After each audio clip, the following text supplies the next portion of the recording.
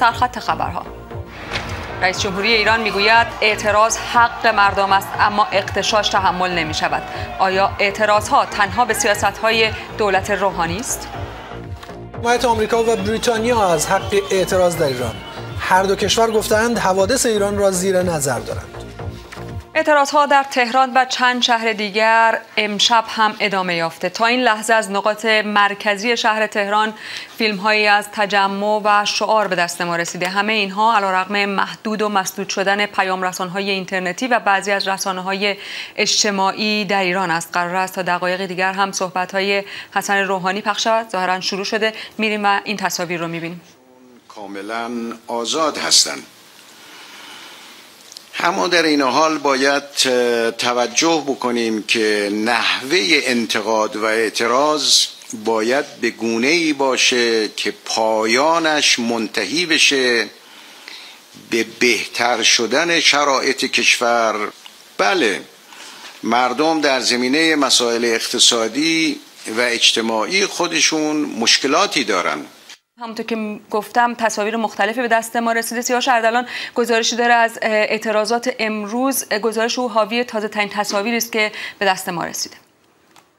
پس از بسته شدن کانال تلگرام کانال های دیگر از دیروز ساعات و اماکن دقیق تجمعات امروز چهارمین روز از اعتراض ها را منتشر کرد. مسئولان ایران اقدام به پارازیت اندازی بر روی برنامه ماهواره‌ای مثل بی بی سی فارسی کردند. از این رو دریافت و انتشار اخبار و تصاویر تجمعات امروز در ایران مشکل است. امروز دهم دی. هرچند این تصاویر نشان می‌دهد تهران امروز نیز صحنه تظاهرات اعتراضی و حضور سنگین نیروهای انتظامی است که ماشین آبپاش را در میان مردم به کار انداختند.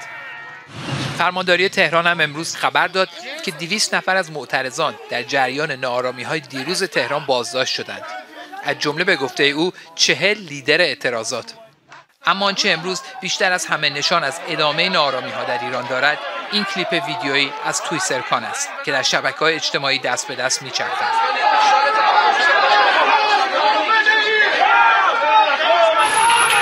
و اینجا در شاهین شهر ظاهرا کنترل اوضاع در دست معترضان است.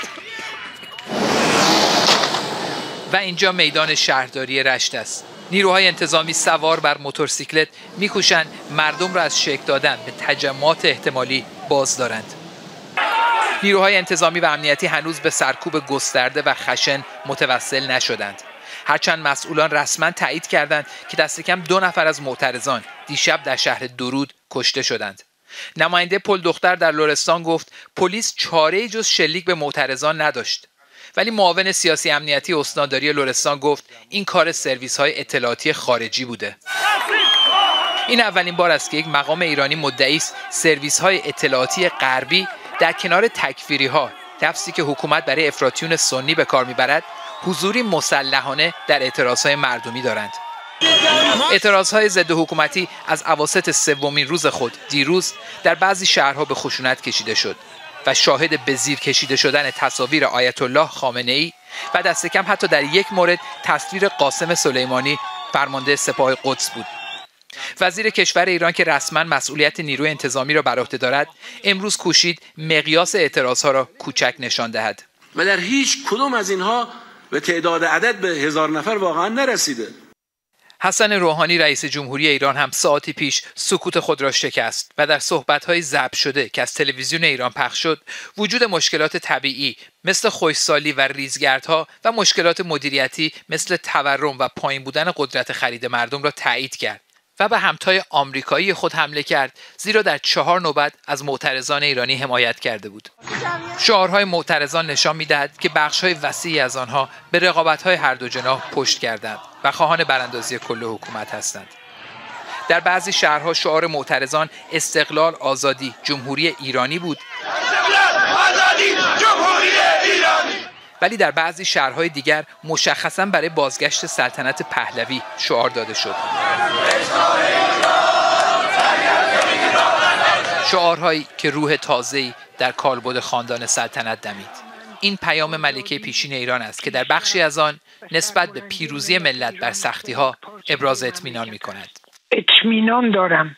ملت ایران که هر بار چون ققنوس بر پا میخیزد این بار نیز بر سختی ها فائق خواهد آمد و نور بر تاریکی پیروز خواهد شد با این حال بخش های دیگر از منتقدان و مخالفان حکومت ایران از بیم عواقب نامعلوم این اعتراض ها و احتمال سرکوب های حکومت نسبت به چشمانداز هرج و مرج و خونریزی هشدار می‌دهند. نقش شبکه های اجتماعی در جنبش های اجتماعی بر کسی پوشیده نیست اما در تظاهرات روزهای اخیر ایران نام یک اپلیکیشن بیش از مابقی سر زبان ها بود تلگرام.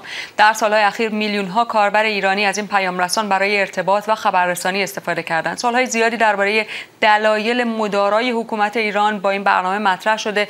حالا اما دولت ایران دسترسی به این برنامه رو در بیشتر نقاط ایران مسدود کرده. فرداد فرحزاد گزارش میده. منبع خبری میلیون ها ایرانی شبکه های اجتماعی است و در سالهای اخیر سیاست های فیلترینگ حکومت بیشتر کاربران را روانه دو اپلیکیشن به خصوص کرده که تا ساعتی پیش فیلتر نبودند اینستاگرام و تلگرام. اینستاگرام که در اصل برای اشتراک عکس است کمتر کاربرد خبررسانی دارد. اما تلگرام بدون رقیبی جدی پلتفرم اصلی خبری این روزها در ایران است. های زیادی درباره دلایل مدارای حکومت ایران با تلگرام مطرح شده.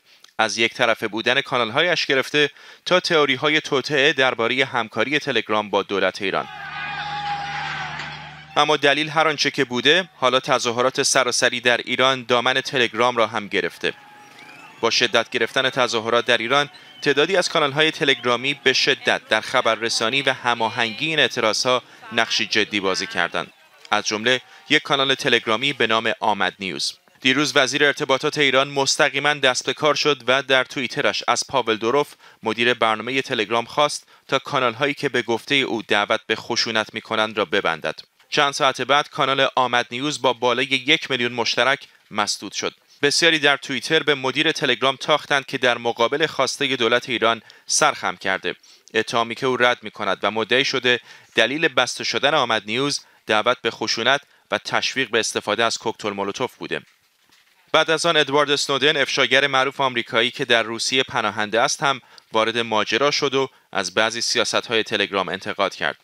آقای اسنودن در توییترش نوشت نمی توانید مانع مسدود شدن یک سرویس مستقل در حکومتی استبدادی شوید. فقط می توانید آن را به تأخیر بیاندازید. او به تلگرام توصیه کرد که باید فکری برای ادامه سرویس دهی به کاربرانش بعد از مسدود شدن کند. پیشبینی او درست از آب درآمد دولت ایران دسترسی به تلگرام را به شکلی گسترده مسدود کرد. پاول دوروف دلیلش را ایستادگی تلگرام در مقابل بستن کانالهای مخالف دولت اعلام کرده. بازماندن طولانی تلگرام در ایران به نفوذ و یک تازیش کمک زیادی کرد.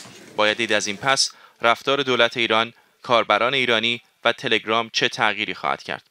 عباس میلانی نویسنده تاریخ پژوه و پژوهشگر از کالیفرنیا آمریکا با ماست. آقای میلانی شما دهه هاست که رفتار اجتماعی ایرانیان رو هم به لحاظ تاریخی هم به لحاظ اجتماعی دنبال کردید از نزدیک. این اعتراضات اخیر رو چطور می‌بینید؟ تحلیل شما چیه؟ من فکر کنم نتیجه شاید بیش از 100 سال تلاش برای دموکراسی است که در 40 سال اخیر به طور مستمر در رژیم جمهوری اسلامی سرکوب شده. حق مردم برای انتخاب سرکوب شده حق مردم برای انتقاد برای آزادی اندیشه برای برابری زن و مرد نادیده گرفته شده. نکاتی که آقای روحانی میفرمایند در قانون اساسی هست ولی در عمل در جمهوری اسلامی در این سی و چند سال اخیر رایت نشده. نخست وزیر سابق مملکت صرفا به لحاظ برخی انتقادها هنوز در زندان و کسی جرأت نمی‌کنه بگه چرا این افراد رو در زندان نگه داشتید. این سرکوب ها این فساد شگفتانگیزی که در وضع اقتصادی وجود داره این فسادی که در قوه قضاییه داره وجود داره این مقام های دائم العمر به گمان من صبر مردم رو و صبر قشرهای وسیع از مردم رو سر آورد. آقای میلانی همیشه تقریبا در هیچ کدوم از اعتراضات دهه های اخیر نبوده که اشاره نشه که اینها از خارج از کشور داره هدایت میشه. دست های پنهان در خارج از مرزها دارن تلاش می‌کنن. فکر می‌کنید که چقدر صحبت هایی که الان پیش, پیش از صحبت با شما با همکارمون در واشنگتن صحبت می‌کردیم دخالت شخصی مثل آقای ترامپ دخالت های خارجی از این دست آیا کمکی می‌کنه به معترضان یا برعکس وضعیت اونها رو با مشکل بیشتری مواجه می‌کنه؟ که رهبران جمهوری اسلامی الان میگن که رئیس جمهور آمریکا حق نداره دفاع بکنه از حق مردم به گمان من ریاکاری است. در زمان آغاز انقلاب رهبران انقلاب طالب دفاع آمریکا و انگلیس بودن. از بی بی سی به طور جد برای پخش نظراتشون استفاده می‌کردن. حالا که اپوزیسیون مثلا ممکنه نظراتش از یکی از این شبکه ها پخش بکنه همه اینا میشن ابزار جاسوسی غرب. اشاره کردید به این موضوع مسئله دیگه این هست که شکل و نوع اعتراضات در این دوره گفته میشه که متفاوت هست با دوره های پیشین به خصوص مثلا اونچه که در سال 88 باهاش مواجه بودیم آیا شما تغییر اساسی در ماهیت این اعتراضات نسبت به اعتراضات پیشین می‌بینید؟ من به گمان من ماهیتا فرق می‌کنه به خاطر گستردگیش به خاطر بخش مهمش برخواسته بودنش از طبقات فرودست جامعه به خاطر خشمی که در این توده ها هست و به خاطر آغاز ریختن این ترس. و واقعا من فکر می‌کنم جمهوری اسلامی یه دلیلی که رهبرانش الان عملا دارن سکوت می‌کنن اینه که متوجه شدن یک قول خفته بیدار شده ترس مردم داره میریزه و کوچکترین حرف نادرستی بزنن کاملا می‌تونه این خشم رو بیشتر بکنه. امید من این است که اونها درایتی داشته باشن و امید من این است که کار به خشونت نکشه برای اینکه از خشونت افراد خشن بی اخلاق ثمر می‌برن. باز می‌خوام به عنوان آخرین سوال یک سوالی از شما بپرسم که ممکن است شما به من بگید که من جوابش رو ندارم حقم دارید اگه این رو بگید. فکر می‌کنید که این اعتراضات آیا به جایی می‌رسه آقای میلانی؟ من می‌خوام شما نظرتون رو با توجه به دهه های گذشته شیوه اعتراضات و شعارهایی که مردم دارن به من بگید. نه اتفاقا حق, شماست این سوال رو بکنید. منم حتما جواب میدم. من فکر کنم حتما به جایی می‌رسه. کمان که جامعه امروز ایران دیگه جامعه چل سال پیش نیست جامعه هفتاد سال پیش نیست جامعه صد سال پیش نیست. اینها نتیجه این تلاش هاست. از این شکست های موقتی پیروزی های آینده در میاد. آینده ایران به گمان من آینده درخشانی خواهد بود. این سرکوب ها موقتی است و هرچه زودتر رهبران بفهمند که نمیشه این آتش رو خاموش کرد آینده بهتر سریعتر برای ایران خواهد آمد. بسیار ممنونم از شما. عباس میلانی نویسنده و پژوهشگر از کالیفرنیا در آمریکا با